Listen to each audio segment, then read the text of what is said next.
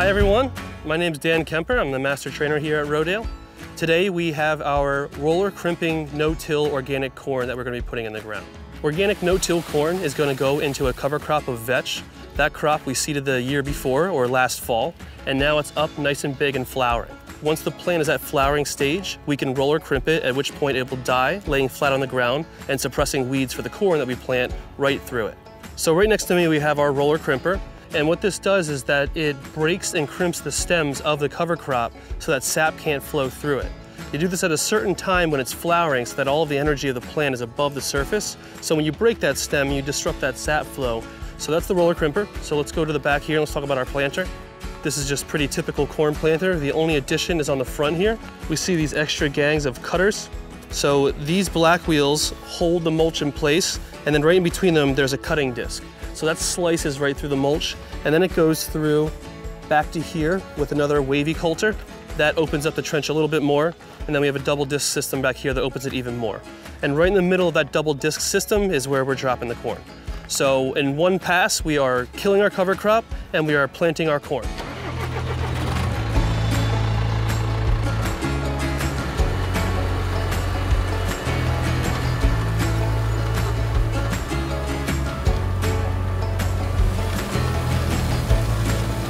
Now I'm gonna check just to make sure the seed's coming out. It's important to make sure that there's no malfunctions.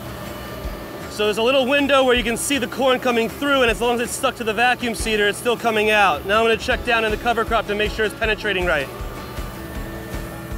It's doing a decent job of cutting through most of it. A little bit of it's hairpinning, which means when the cover crop gets pushed down into the trench instead of properly cut, but it's not so bad. You want to avoid that a bit, but a little bit's not too bad. All right, so it's doing a good job. We're gonna go through and plant the rest of it now.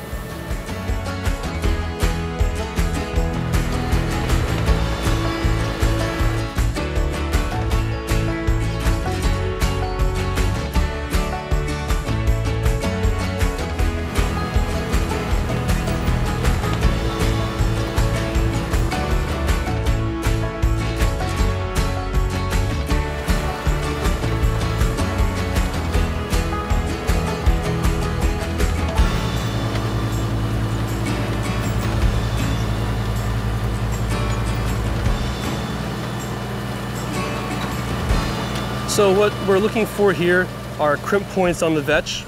So I'm just kind of looking through here and I see some crimp points that look pretty nice. We're looking for essentially this spot right here. It's kind of a bruising on the stem and that was crimped. Because we're not tilling to put our cash crop in, we're not disturbing the uh, microbes and the fungi and whatnot that are living in the soil and creating this kind of, you know, great network of life.